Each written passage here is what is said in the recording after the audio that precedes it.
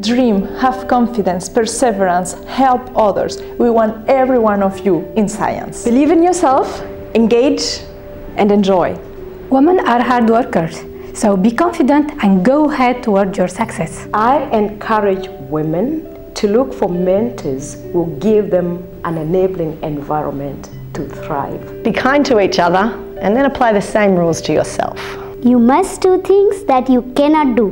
Believe in yourself and empower yourself. To live in a better world, we need women scientists. Women enlightenment and empowerment.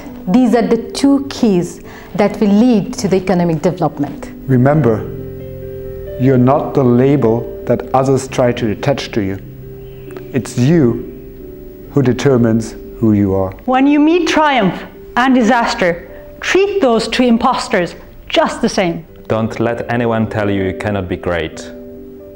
You have all the skill set to become a scientist. So don't be afraid and believe in yourself.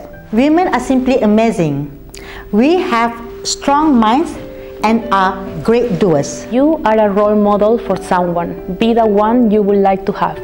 Women, you are beautiful and fantastic teachers. Don't let anyone demotivate you or take away that spark in your eyes. I'm going to tell you something very serious. Have fun as much as you can.